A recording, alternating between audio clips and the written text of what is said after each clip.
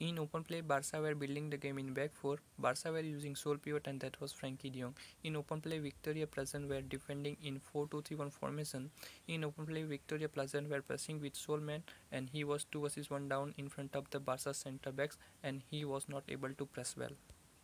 With Victoria Plzen's frontman being central, Barca centre-backs could easily drive the ball and bypass the frontman.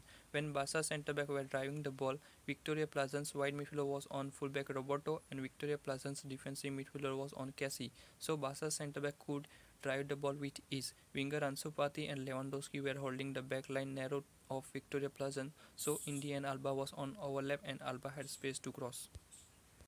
In open play, Barca were building the game in traditionally back four. Barca's pullback were providing width by staying wide and Frenkie de was operating as a pivot. Barca's pivot was always under pressure from Victoria Plzen center midfielder, so Barca had no centrally passing options available because of Barca's pivot was being isolated.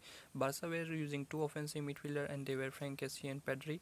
Victoria Plzen had two defensive midfielder and they were marking Barca's offensive midfielders. So in open play, Barca's midfield was isolated. When Barca's offensive midfielder was dropping in, Victoria Plzen's defensive midfielder was ready to track back Barca's offensive midfielder. So Barca's midfield was was centrally isolated and Barca were being forced to do back passing.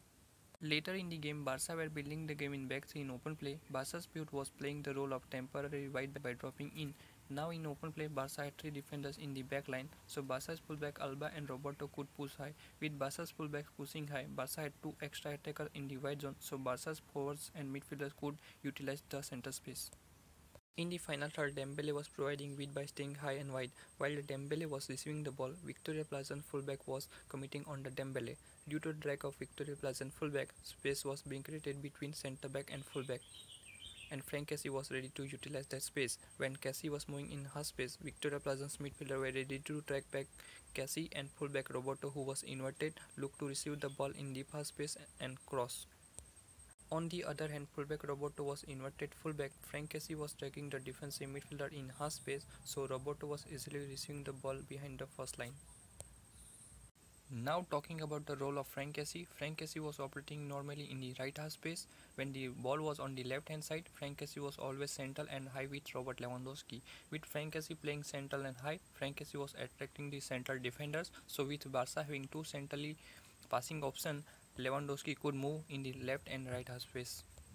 Frank Kessie had two roles to go behind the defense from half space when the winger had the ball and when the ball was on the left hand side staying central with Robert Lewandowski and bluffing Victoria Plzen's black line. But Barca's second offensive midfielder was not doing this. In the second half, Barca's left winger was playing as a temporary second striker. Barca's winger was attracting the defender of Victoria Plzen by staying central in the final third. Now Barca had two strikers and Barca were 2v2 in front of Victoria Plzen central defenders. Alba's cross came off the flank and winger dragged the defender and set up for the Lewandowski and Lewandowski scored outside of the box. Because the winger movement was dragging Victoria Plzen center backs and creating space for Lewandowski and that's what Lewandowski was able to score.